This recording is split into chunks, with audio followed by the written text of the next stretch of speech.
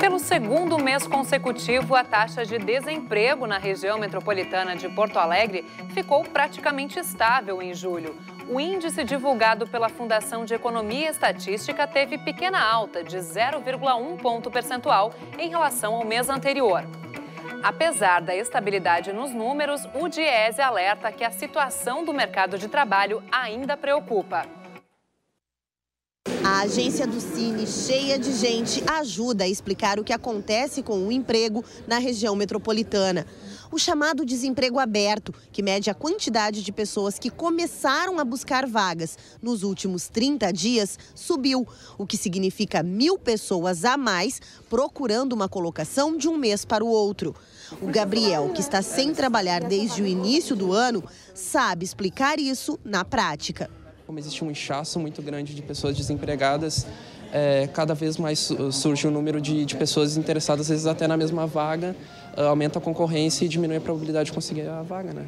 Segundo o DIEESE, a taxa de desemprego passou de 10,3% para 10,4% da população economicamente ativa entre os meses de junho e julho, o que significa estabilidade. Parece positivo, mas é uma notícia ruim entramos como que numa piscina do desemprego e ficamos lá no fundo dessa piscina.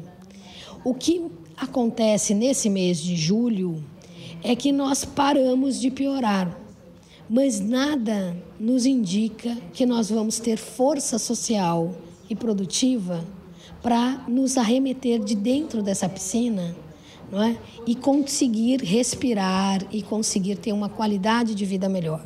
E o pior, segundo a pesquisa, é o que está por vir. Né? Mesmo quem está trabalhando não tem motivos para comemorar. A renda é menor, o trabalho é mais intenso, você se dispõe a trabalhar por mais tempo, não é? Para manter o seu vínculo. Com isso, a sociedade toda perde, porque não é só aquele trabalhador da indústria ou do comércio que submete-se a relações mais precárias de trabalho que perde. Perde toda a sociedade. Segundo o DIEESE, também houve queda no rendimento dos trabalhadores. Na comparação com julho de 2015, o desemprego subiu de 9,4% para 10,4%. Ainda assim, Porto Alegre é a região metropolitana com o menor índice entre as cinco regiões pesquisadas.